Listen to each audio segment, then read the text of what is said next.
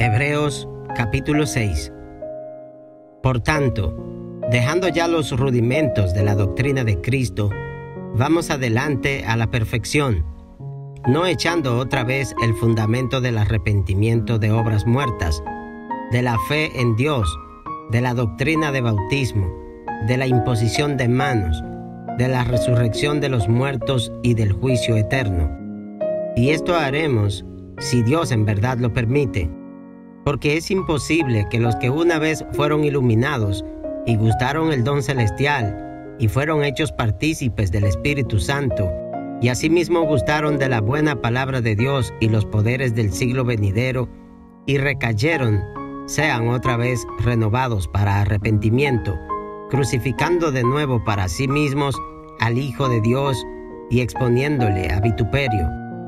porque la tierra que bebe la lluvia, que muchas veces cae sobre ella, y produce hierba provechosa a aquellos por los cuales es labrada, recibe bendición de Dios.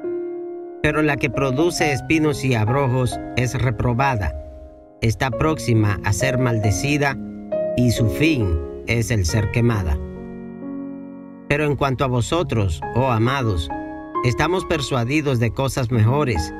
y que pertenecen a la salvación, aunque hablamos así,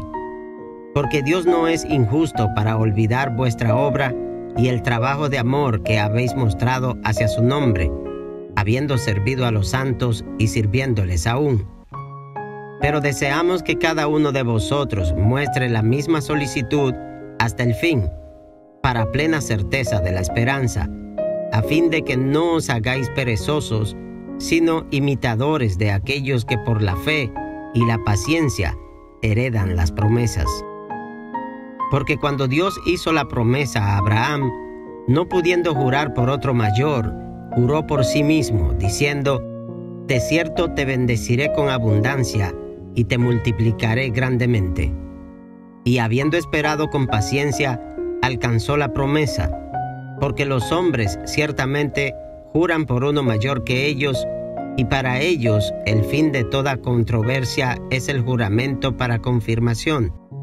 Por lo cual, queriendo Dios mostrar más abundantemente a los herederos de la promesa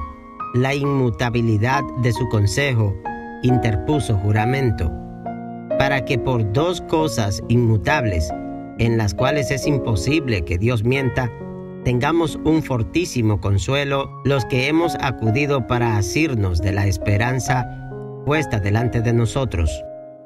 la cual tenemos como segura y firme ancla del alma y que penetra hasta dentro del velo, donde Jesús entró por nosotros como precursor, hecho sumo sacerdote para siempre, según el orden de Melquisedec.